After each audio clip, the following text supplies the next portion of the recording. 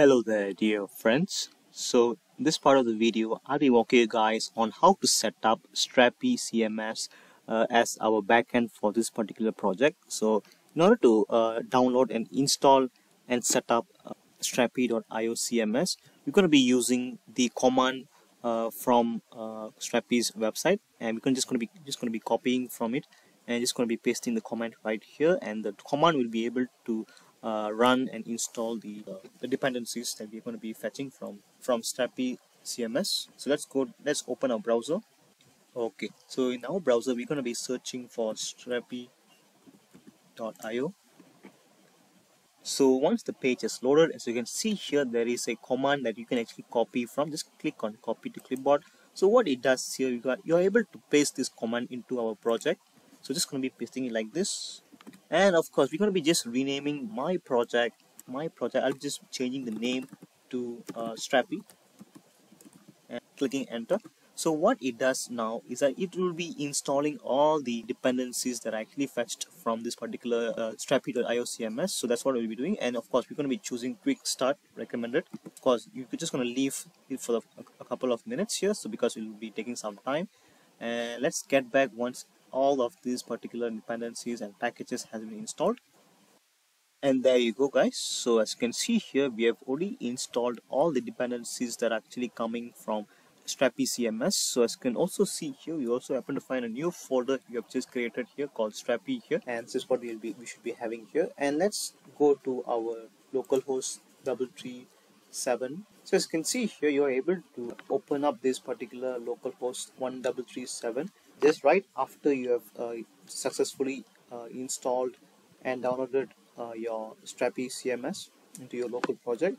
So right now you must be able to uh, create an account like this. For example, I already have a couple of accounts that I've created here. So all you have to do is just create an account and, and click on let's start and there you go. Right after you have clicked on let's start button, you'll be able to come to this particular dashboard uh, for your Strapi CMS where you are able to go through every single uh, tools that are actually provided by Strapi. As you can see here, you happen to have like first uh, tool at the at the top here is called Content Manager, where you're able to manage your content.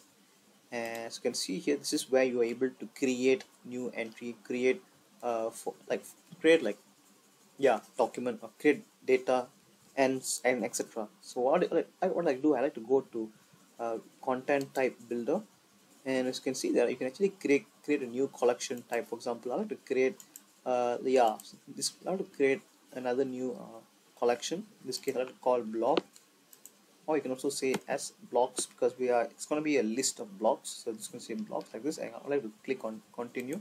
Okay as you can see here this way cannot be the same as the plural one. So it has to be singular. That's why it says singular. So this going to be same block. And this is going to be this value cannot be the same as a singular one so that's why I put blocks okay? So now you can actually click on continue.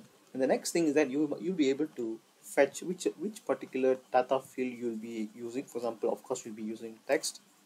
And that text is going to be the title block title uh, yeah database format like this. No no spacing by the way. And click finish. And this is your first uh, data type which you have just created. And and let's you can actually add more uh, field to this particular blocks uh, collection. For example let's say I would like to add like a media. For example we happen to have an image here. So you can actually use image. I mean yeah you can see also use something like this to like cover image. So cover image will be used will be used for images. For in this case this case best for sliders but this is meant for multimedia. But I would like to go for simple single media. That's what I will choose here and of course we since we have block title cover image of course we need to be having some simple uh, description. For example I would like to say block description like this. So it's going to be short as well.